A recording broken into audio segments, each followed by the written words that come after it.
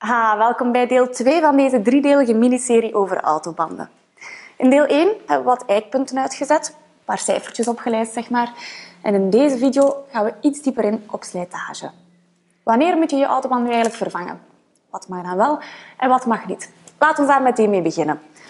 Wanneer moet je een nieuwe band kopen? Wel, er zijn drie voor de hand liggende redenen waarom een band moet vervangen worden. 1. Hij is kapot en dus niet meer veilig herstelbaar.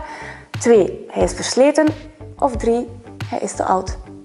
Kapot, dat is duidelijk. Hè? Meestal heb je dan iets geraakt, want een band die spontaan stuk springt, dat is zeldzaam. Ik ga er niet te diep op ingaan, want kapot is kapot. Hè. Maar waar je dan wel op moet letten, is dat je dezelfde band terugmonteert. Eén as moet altijd twee dezelfde banden hebben.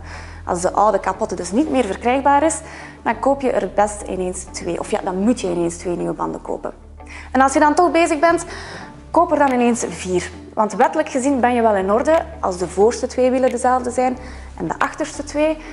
Maar een mix zorgt toch altijd voor onvoorspelbaar rijgedrag en dat is nooit aan te raden. Voor de slijtage moeten we wat dieper duiken. Het gaat over het profiel van de band, ofwel de tekening hierop.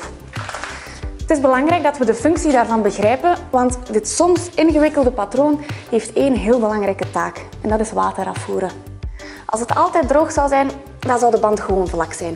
Maar het profiel is een lineair pompsysteem dat het water afvoert. Doet het dat niet, dan blijft er tussen de weg en de autoband een laagje water staan en dat zorgt voor aquaplaning en dat is verschieten ze. Hoeveel water dat pompsysteem kan afvoeren wordt bepaald door de tekening en door de capaciteit van de afvoerkanalen, ofwel de profieldiepte. De tekening die verandert niet, maar naarmate je meer kilometers aflegt en je band afslijt, vermindert het profiel en bij gevolg ook het vermogen om water af te voeren. Even simpel uitgelegd. Is het profiel 10 mm diep, dan kan het dubbel zoveel water afvoeren als wanneer dat 5 mm is. In een goede band kan dat pompsysteem trouwens verschietachtig veel water verzetten. Eén band kan tot 10 liter per seconde afvoeren. Nu, omdat het profiel zo belangrijk is voor de verkeersveiligheid, legt de overheid in Europa beperkingen op. Een band mag nooit een profieldiepte van minder dan 1,6 mm hebben. Nu, normaal gezien checken ze dat bij de autokeuring, maar stel dat je toch op de limiet zit en je geraakt er nog net door in de keuring, stel dat nieuwe banden zeker geen jaar meer uit, want het weegt onvermijdelijk op de veiligheid.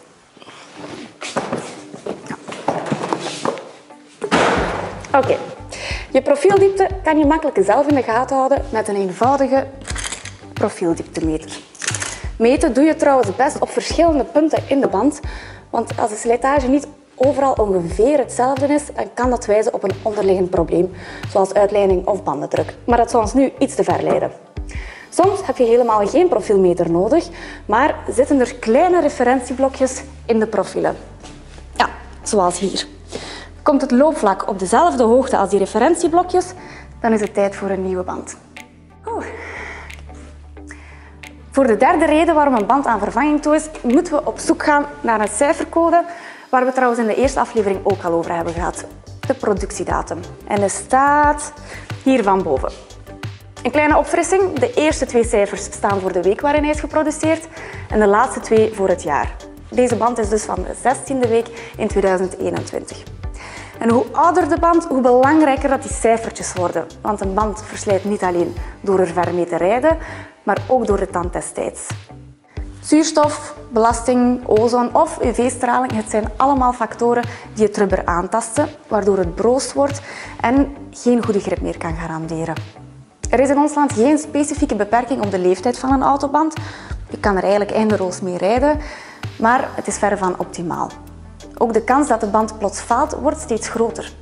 Een klapband is in het algemeen wel heel zeldzaam, maar het risico neemt niet af naarmate de band ouder wordt. En bandenfabrikanten zelf geven aan dat het rubber na 8 à 10 jaar wel zijn beste tijd heeft gehad, zelfs als je nog geen kilometers hebt gereden met de band. Zoals het reservewiel bijvoorbeeld. Als je dat nog hebt tenminste, want dat wordt zeldzaam. Voilà, alles wat ik in deel 2 te vertellen had, heb ik gezegd. En in de volgende en voorlopig laatste aflevering gaan we nieuwe banden shoppen. Stay tuned via Facebook, de website of YouTube.